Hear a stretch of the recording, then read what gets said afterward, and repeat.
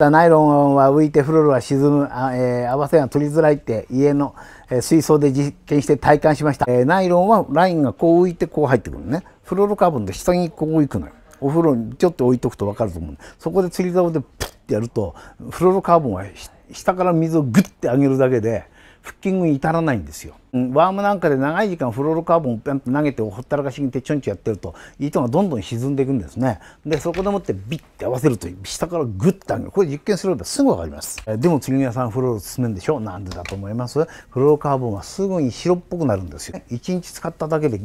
あの表面がギギチギチに傷ついてくるの早めに交換してくれるの釣り屋は絶対フローって言うからねはい。